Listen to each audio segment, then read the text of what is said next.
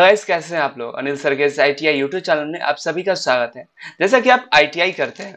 ITI के दौरान आपको एग्ज़ाम देना होता है और एग्ज़ाम देके आप सर्टिफिकेट लेते हैं पास होकर और उसके बाद आप अप्रेंटिस करते हैं। कहीं पर भी प्राइवेट हो या रेलवे में हो या किसी भी आई आई ओ सी एल आई या ओ एन जी सी या कहीं पर भी आप अप्रेंटिस करते हैं, उसके दौरान आपको एग्ज़ाम देना होता है। एग्ज़ाम, जैसे कि आप अप्रेंटिस आईटीआई का एग्ज़ाम देते हैं, उसी तरह अप्रेंटिस में भी एग्ज़ाम होता है। अप्रेंटिस के एग्ज़ाम में आपको ड्राइंग का एग्ज़ाम प्रैक्टिकल का एग्ज़ाम थ्योरी और और इम्प्लॉबिलिटी स्किल और साथ ही वर्कशॉप कैलकुलेशन का भी एग्ज़ाम देना होता है, जो कि आपके आईटीआई के भी एग्ज़ाम में देना होता है। आपके आईटीआई के एग्ज़ाम में जिस तरह से आपका थ्योरी और वर्कशॉप ऑफ़ कैलकुलेशन और प्रैक्टिकल आईटीआई में भी ऑफलाइन होता है और अप्रेंटिस के दौरान भी ये दोनों एग्ज़ाम ऑफलाइन होते हैं। जबकि सीबीटी एग्ज़ाम भी आपका थ्योरी वर्कशॉप कैलकुलेशन और इम्प्रोबिलिटी स्किल ये सारे एग्ज़ाम आपके आपके सीबीटी होंगे कंप्यूटर पर होंगे। तो एग्ज़ाम नज़दीक आ गया जैसे कि हर एक अप्रेंटिस में एक एग्ज़ाम होता है हमेशा एग्ज़ाम होता ही है। तो एग्ज़ाम के दौरान आपको ये तैयारी करना होगा कि एग्ज़ाम निकालने के लिए। तो उसके लिए अच्छा प्रिपरेशन होना चाहिए।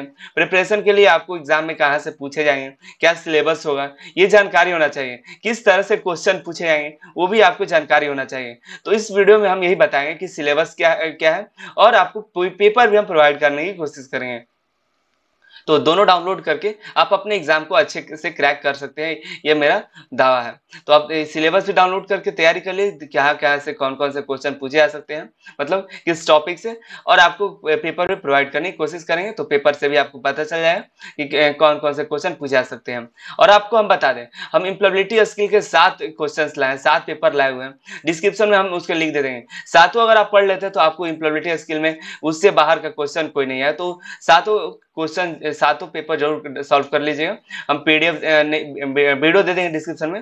वीडियो देख के कंप्लीट कर लीजिए सातों सेशन एम्प्लॉबिलिटी स्किल का, जो कि सभी ट्रेड में ये पूछे जाते हैं। तो एम्प्लॉबिलिटी स्किल कंप्लीट कर लीजिए। बाकी थ्योरी और सभी के लिए हम सिलेबस प्रोवाइड कर दे रहे हैं। तो यहाँ पे जाइएगा तो डीजीटी की ऑफिशियल वेबसाइट है डी इस पर होम पेज पे आएगा तो यहाँ स्कीम्स एंड प्रोग्राम्स जाएगा तो स्कीम फॉर ट्रेनिंग यहाँ पे आके अप्रेंटिसशिप ट्रेनिंग पर क्लिक करते हैं।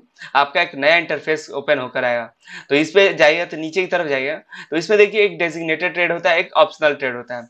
तो आपका जो जो भी ट्रेड है, और अगर डेजिग्नेटेड ट्रेड है तो इस पर क्लिक करिएगा और इस पर क्लिक करते हैं, ये पूरा ट्रेड्स का लिस्ट आ जाएगा इसमें। और इस पर सारा इस साइड देखिए तो डाउनलोड हेयर यहाँ पर आपका पीडीएफ डाउनलोड करने का ऑप्शन आ जाएगा। और इसमें आपको नीचे ऑप्शनल ट्रेड होता है। ऑप्शनल ट्रेड क्या होता है? इसमें देख सकते हैं, जैसे अकाउंटेंट आपका अकाउंटेंट एग्जीक्यूटिव फिर देखिए असिस्टेंट एचआर फिर बॉयलर मेकर सीसीटीवी कैमरा में देख सकते हैं कमर्शियल ये सारा ये आता है। और आपका डेजिग्नेटेड ट्रेड जैसे कि वेल्डर इलेक्ट्रीशियन फीटर कारपेंटर जो भी आई टी ट्रेड्स होते हैं, वो लगभग सभी, वो सभी इसमें आपको डेजिग्नेटेड ट्रेड में आते हैं। तो अगर आप इलेक्ट्रीशियंस है तो आप डेजिग्नेटेड ट्रेड में होंगे। और आप, अगर आप देख लीजिए, आप जो भी ट्रेड से अप्रेंटिस कर रहे हैं, आपका इन दोनों में से किसी ना किसी में ज़रूर होगा। तो लेकिन दोनों में नहीं हो सकता, किसी ना किसी एक में होगा। तो उसमें सर्च कर लीजिएगा, इसमें वैसे आपको बता दें आई ट्रेड लगभग सभी आपका डेजिग्नेटेड ट्रेड ही होता है। तो इलेक्ट्रीशियन में आइएगा, यहाँ पे देखिए डेजिग्नेटेड ट्रेड में इलेक्ट्रीशियन यहाँ पे चौतीस नंबर पर है। इस साइड देखिए तो डाउनलोड हेयर मिल करिएगा तो पीडीएफ डाउनलोड हो जाएगा। पीडीएफ डाउनलोड करके आप देख सकते हैं, और इसमें आप, हम सभी तो नहीं बताएँ पूरे टॉपिक्स को पूरा टॉपिक्स बताने तो वीडियो बहुत लंबा हो जाएगा। तो हम सिर्फ़ असेसमेंट बताते हैं कि किस, किससे कितने नंबर के सवाल पूछे जाते हैं। और कितने सेशनल क्या होता है, इसमें क्या मिलता है, इसमें देख लेते हैं, देखिए। तो ये देखिए आपको ये है फाइनल असेसमेंट इसी में से क्वेश्चन पूछेंगे।